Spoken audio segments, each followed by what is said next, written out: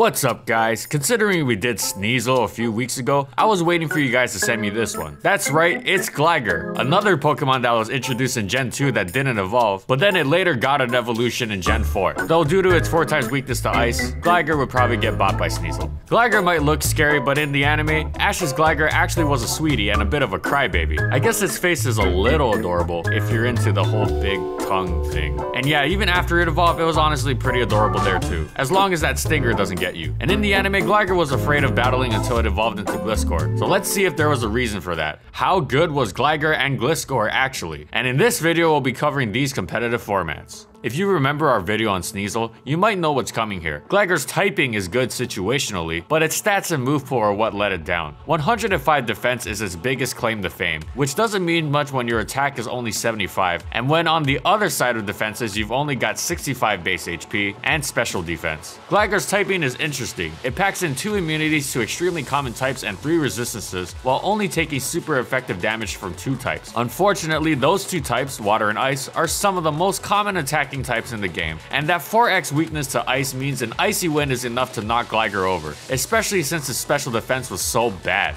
Gligar's stats lend it to tanking, but it lacks the support move pool to do anything on that route either. Counter was its one hope to pick up surprise kills on Snorlax or Skarmory, with Gligar's only other hope being to Screech on Switch and use the defense drop to artificially boost its own stat attacks, just like another bat Pokemon we've talked about, but at least that one evolved by now. To make matters worse, Gligar couldn't even learn Earthquake via a TM in Gen 2. To get access to its strongest stab attack, you needed to beat the rival in Pokemon Stadium 2, and even then, Earthquake Earthquake and Wing Attack didn't do much with such poor attack stats. Gligar's one other niche was in the use of Thief, which was a pretty situational solution to Pokemon like Thick Club Marowak or Leftover Snorlax. Gligar's decent defense would allow it to get a rest off eating its own Mint Berry, or it could just play Status Absorption with a Miracle Berry and Protect. Then it could make use of its actually pretty okay speed to get a Thief off, and then promptly be pretty useless after that. Yeah, Gligar was no hot stuff in Gen 2. It was an underused and even there it did poorly, through losing matchups to most water flying and ice types. And just like Sneasel in Gen 3, Gligar also received a goodie bag of buffs that made its status as a single stage Pokemon not quite as distressing. Chief among them was its expanded move pool, which now boasts an Iron Tail, a more accessible Earthquake, Hidden Power Flying, and the crown jewel in both Gligar and Sneasel's Gen 3 sets, Swords Dance. Gligar's attack was still pretty meh, but with Swords Dance, those stab Earthquakes suddenly had a good deal of oomph behind them. And 85 speed wasn't completely terrible for sweeping in the lower tiers. Combined with Hyper Cutter, Gligar was Intimidate immune and had an easy time fighting switches due to its good typing. It could even swap out its Swords Dance and leftovers for Quick Attack and a Choice Band to Revenge Kill. Though its middling attack stat became more evident without Swords Dance boost. Finally, Salac Berry with Endure or Substitute could be very powerful if the enemy's priority users were taken care of. Make no mistake though, Gligar was still underused, as its stats paled in comparison to heavy hitters like Swampert, Aerodactyl, and especially Flygon who strictly outclassed it as a ground type. But provided it avoided water types like Quagsire, Blastoise, and Slowking, it did quite well in underuse, even able to take out the levitating celestial rocks of Solrock and Lunatone with Iron Tail and some proper prediction. If you were surprised that Gligar wasn't completely terrible in Gen 3, here's a little present for you in Gen 4. A brand new evolution complete with a 20 stat boost to attack and defense and 10 points in every other stat. That huge buff paired nicely with Gliscor's new moves, which allowed it to branch out into supportive roles it had the stats for before, but couldn't fulfill while patching up its attack stats. One thing to differentiate in Pokemon is a wall breaker versus a stall breaker. While many stall teams function based on walls, they also utilize recovery tactics, protect, and status like burn and poison to eventually win the game. A wall breaker such as the grossly powerful Mega Gardevoir we discussed last video literally breaks through those walls with its sheer power.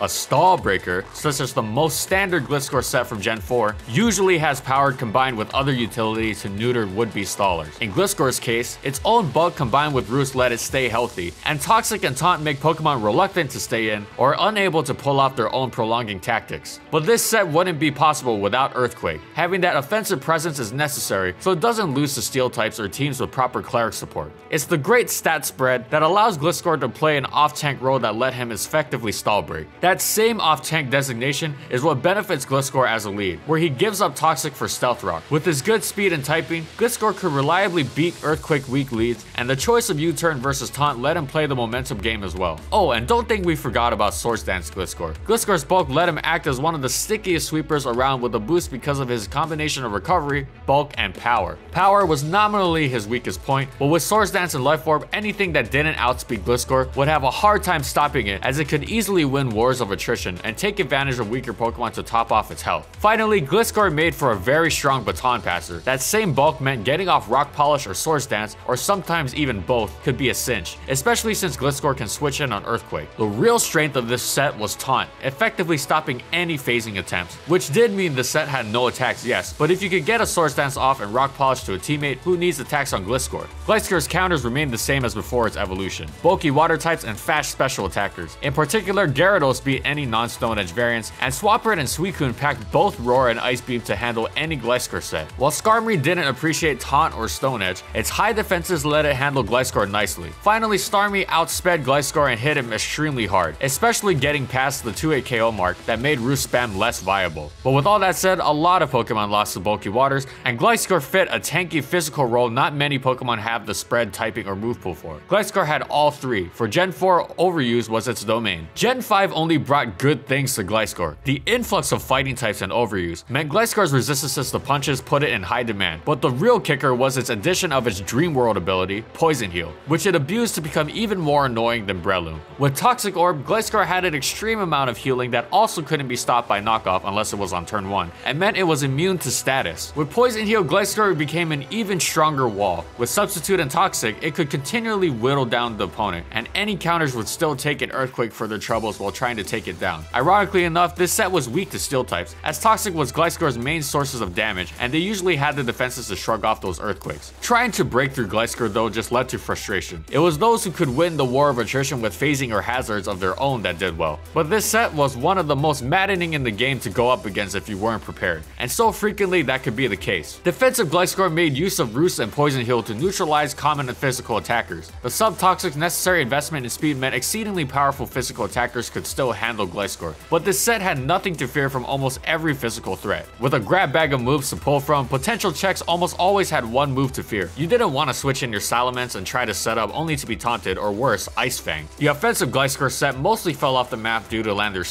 but it still had one set it could run. Acrobatics boosted by a Flying Gem was effectively a 247 base power attack, and just like before, it wasn't that hard for Gliscor to get up a Swords Dance. Earthquake and Acrobatics formed such a powerful core on their own that Gliscor could even run Substitute or Agility in an effort to become a bona fide sweeper. But as always, the set struggled against bulky waters. Finally, while the addition of the laddies and Pokemon with strong ice types meant the investment into Baton Pass was less viable, Gliscor could still fill that role, biding its time until it could switch in. This was usually just to pass a substitute to a teammate who could use it to set up, which in some cases was quite useful. And Gliscor's bulk, access to taunt, and immunity to status made it well suited to do so. Gliscor's biggest problem was that it still faced stiff competition from Landorus T, you know, the other ground flying type with good stats. This is why any offensive set not taking advantage of the flying gem fell completely off the radar. As such, it was Gliscor's defensive sets that came to the fore, and frequently it was things that shut down defense that helped dispatch it, like Whirlwind from Skarmory or Taunt from Gyarados for example. Rotom Wash could also hit hidden power ice through substitutes and only took damage from Toxic. Skarmory Forretress and Ferrothorn abused no taunt Gliscor to set up hazards and gain momentum. The main problem in dealing with Gliscor was letting it get a substitute up, which it was admittedly very good at doing. But without it, its old counter Starmie and other water types ran it down, especially in the rain. As did especially strong physical ice type attacks from the likes of Conkeldurr,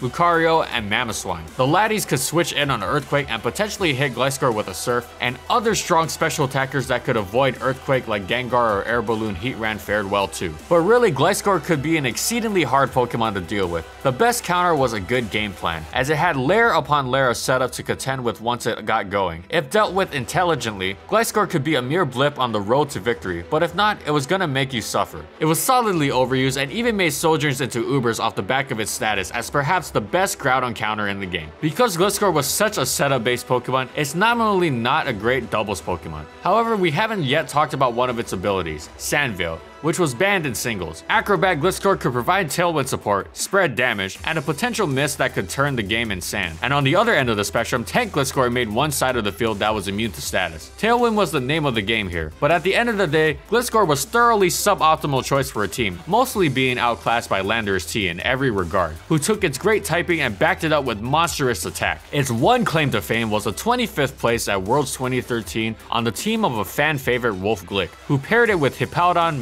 And Registeel in a typical offbeat Wolfe fashion. Gen 6 saw Gliscor return to stall breaking as its primary role. More fairy types and fewer steel types equals less fighting types, which equals less defensive Gliscor. Not to mention the cadre of strong special attackers added in like Mega Manectric, Mega Altaria, Mega Charizard Y, all gave defensive Gliscor reasons to be scared. In short, power creep forced Gliscors out of its generalized tank role and more into its specific niche as stall breaker, which to be fair, it was still great at. The mix of Swords Dance, Taunt, Toxic, Knockoff, Roost, and Poison Heal let it assault defensive teams from multiple angles, alternately punching through their defenses, prohibiting them from using their moves, wearing them down, and removing items. Gliscor worked well as an aid to set up Pokemon like Celebi, Reuniclus, and Talonflame, who all appreciated its ability to potentially move the Pokemon, inhibiting them from blasting through the enemy team. As far as counters go, it was an old hat plus some new power, alongside the expected water types, Mega Metagross, Mega Venusaur, and Mega Scizor all exploited the fact that Gliscor's defenses weren't quite what they used to be, all benefiting from the immunity to either Earthquake or Toxic. But Stall's prevalence meant Gliscor's good stats kept it in overuse for the time being. And as for Gen 6 VGC, though we did find one instance of it making it top 8 at 2014 Australian Regional, no sets or video of this were recorded, and as for the general use amongst general players, yeah, I can't really find anything on Gliscor other than record of some people using it in earlier rounds, nor could I find much move sets. Again, it's not really known to be a VGC Pokemon, especially with Landorus T being a thing post 2014. And that's it, so how good were Gligar and Gliscor actually? Well, Gligar wasn't great, but Gliscor was awesome. It's truly one of the most annoying Pokemon to fight against if you ever face it, as it makes Poison Heal look even better than Breloom does. What was once a terrible move pool has evolved to be frankly massive, leaving Gliscor Gliscor with all its tools it's needed to make use of its unique stat spread. Gliscor's move pool made it a constant threat. I have bad memories of thinking I had scouted a set correctly only to eat a Flying Gem Acrobatics or an Ice Fang that brought me into a screeching halt. So yeah, Gliscor, pretty good. Now let's hope it didn't get too power creeped out in Gen 7. Thanks for watching everyone. As always, if you liked the video and want to see more, be sure to subscribe to False Swipe Gaming for more weekly Pokemon content, and of course comment on what Pokemon you want to see next. Also, thank you so much to our patrons for continued support of our videos, and thank you to all of you as well. And follow my crew on these social media platforms, and that's all I got. See you next week, everyone.